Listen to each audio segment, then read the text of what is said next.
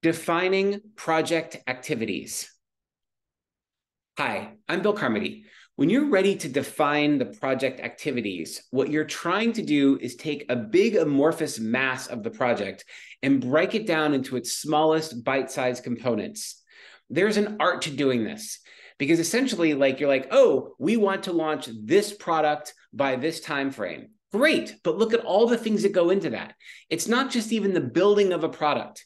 It's also the marketing, the communication, the meetings, the status, the updates, the, the metrics of success. So, what you're really trying to do is you're trying to say, what are the individual activities that are necessary for this project to be successful?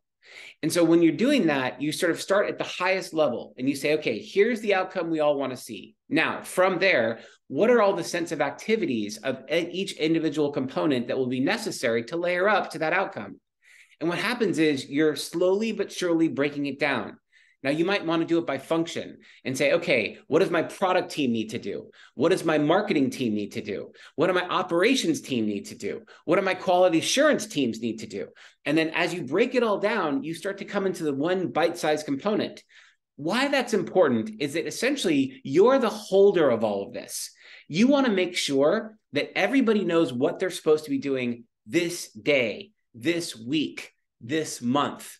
And so if you're championing and you're quarterbacking the whole project, the more granular you can get, the easier it is to say, look, all I need from you today is finish the source requirements.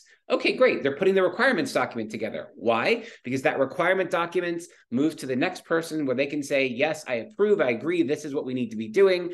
That gets channeled to the next person who does the next thing with the to improve the product, right? My point is this as you go through and you really think about the product itself, it's easy to get overwhelmed by all the things you want to accomplish in the project. Don't get overwhelmed. Instead, start breaking it down first at the highest level. So here's the outcome I want to see. Here's all the people that are involved. Here are all the departments that are going to be touching this project. And then look at it from that perspective of what are the most important paths that each person needs to accomplish to be successful. Your time is limited your resources tend to be limited. So, therefore, what you really want to focus in on is how do you make sure you've measured twice and cut once? This is your measurement time. Here's all the things I need to keep track of so that I can have a successful launch of my project. Once you've done it and you've actually come up with a draft, you're going to want to review that with all the people who are going to be involved and say, I believe this is all the things we need to accomplish. Do you agree?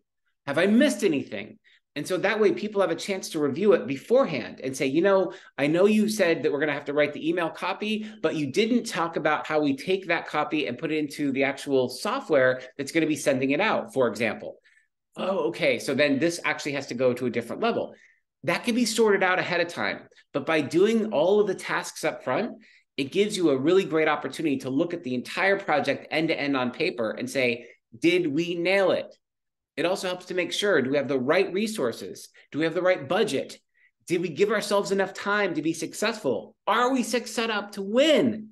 Once you've reviewed all those things, then you can confidently lock it down and ask everyone to sign off on the actual project uh, uh, plan.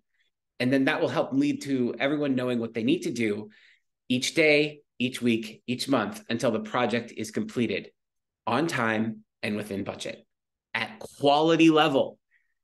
That makes sense?